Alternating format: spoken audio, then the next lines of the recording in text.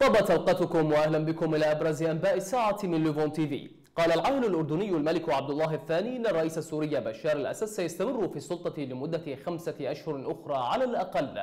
أضاف الملك عبد الله في كلمته أمام المنتدى الاقتصادي العالمي بمنتجع دافوس السويسري أن من يقول إن النظام الرئيس السوري سيصمد لأسابيع فقط لا يعرف حقا الواقع على الأرض كما حذر عدد من الخبراء الدبلوماسيين والإقليميين من أن النزاع في سوريا يمكن أن يطول داعين المجتمع الدولي للمزيد من التحرك لوقف سفك الدماء.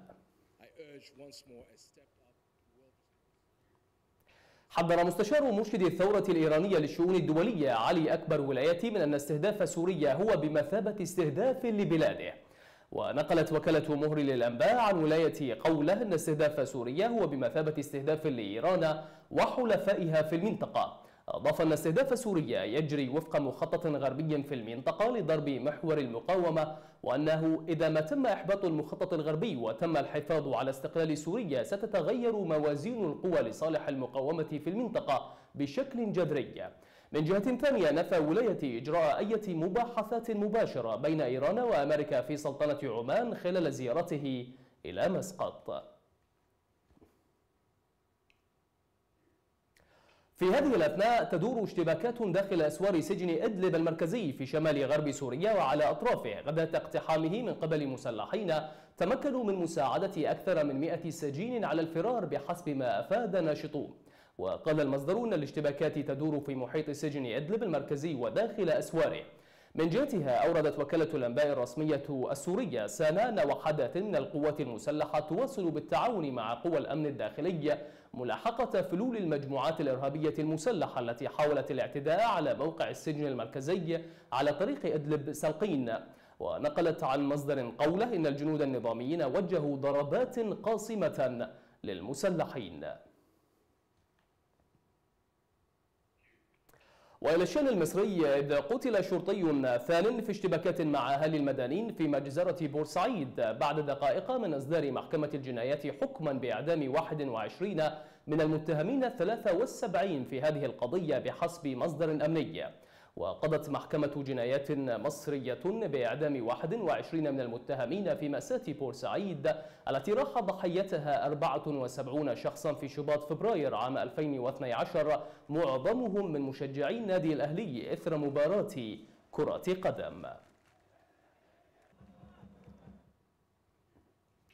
دعا الرئيس المصري محمد مرسي المصريين لنبذ العنف بعد مواجهات بين متظاهرين مناهضين له وقوات الأمن أسفرت في آخر حصيلة رسمية عن سبعة قتلى وأكثر من 450 جريحا. ودعا الرئيس المصري في رسالة جميع المواطنين للتمسك بالمبادئ النبيلة للثورة المصرية في التعبير عن الرأي بحرية وسلمية ونبذ العنف قولا وفعلا. هذا وسقط سبعة قتلى وأصيب أكثر من 456 شخصا في مواجهات دارت الجمعة في الذكرى الثانية للثورة في مناطق مصرية عديدة بين قوات الأمن ومتظاهرين مناهضين للرئيس محمد مرسي. هددت جبهة الإنقاذ الوطني المعارضة بمقاطعة الانتخابات البرلمانية ما لم تستجب السلطة إلى مطالبها. وقالت الجبهة في بيان إنها قررت عدم خوض الانتخابات البرلمانية القادمة إلا في إطار الحل الوطني الشامل الذي تقترحه ويتضمن تشكيل لجنة قانونية لتعديل الدستور تشكيل حكومة إنقاذ وطني وإزالة العدوان على السلطة القضائية إقالة النائب العام الحالي وإخضاع جماعة الإخوان للقانون.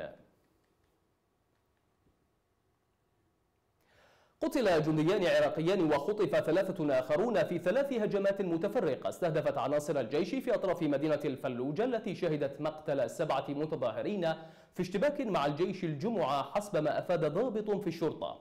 وقالت شرطة الفلوجة أن مسلحين مجهولين قتلوا جنديين وخطفوا ثلاثة آخرين في ثلاث هجمات متفرقة في الفلوجة. وكانت السلطات قررت سحب قوات الجيش واستبدالها بقوة من الشرطة الاتحادية إثر الاشتباكات التي أوقعت سبعة من المتظاهرين الجمعة. وشيع سكان مدينة الفلوجة جثامين سبعة متظاهرين قضوا في الاشتباكات مع القوات العراقية.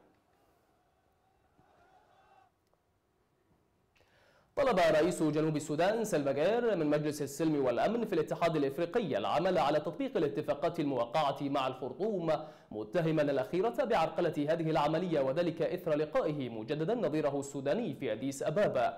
وحمل رئيس جنوب السودان الخرطوم مسؤولية العرقلة داعيا أعضاءه إلى ضمان احترام القرارات المتخذة وذلك بحسب نص خطابه الذي وزع على الصحفيين. في المقابل لم يعلن الموقف الذي اتخذه البشير أمام مجلس السلم والأمن. أخيرا أكد رئيس الوزراء الفرنسي جان مارك ايرو أن لا خطر في غرق فرنسا في المستنقع المالي مشددا على أن الأهداف التي حددتها باريس في هذا البلد تم تحقيقها واحترامها. واستعاد الجنود الفرنسيون والماليون مدينة على طريق غاو معقل الجماعات المسلحة في شمال شرق مالي إلى أن هؤلاء ردوا من خلال تفجير جسر استراتيجي قرب الحدود النيجيرية. شكرا لحسن المتابعة وإلى اللقاء.